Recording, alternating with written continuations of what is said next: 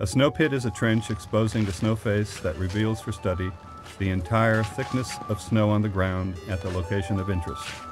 The snow pit will be studied to understand the stratigraphy of the snowpack and to correlate the layering with weather events and metamorphic changes in the snowpack which happen over time. All of this will lead to a better understanding of the history of winter. The following basic steps compose the snow pit protocol. First, choose a site representative of the area and be assured that appropriate clothing for extended time outdoors is worn.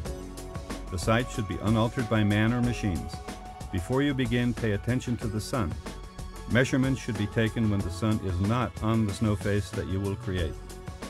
Using a flat face shovel, a trench with a vertical face is dug in the snow cover down to the ground surface and the depth of the pit is measured with a measuring tape. Next, a temperature profile of the snow cover is taken by inserting calibrated thermometers or thermochrons at designated increments along the face of the pit. Okay, it's going into 60 centimeters. The density of the snow in the profile is determined by sampling the wall of the pit with a density tube. The tube is weighed when empty prior to use and again when filled with snow. Then the density is calculated.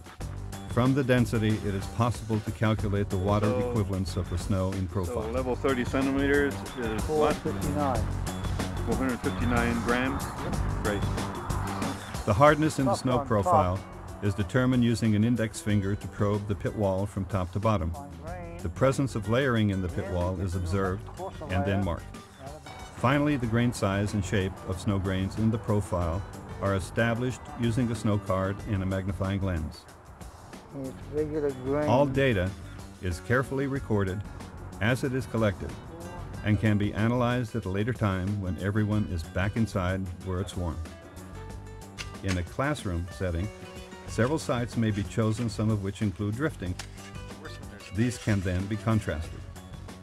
Snow pits are important study sites for researchers interested in the hydrologic consequences of the snow contained in the snowpack. Routinely,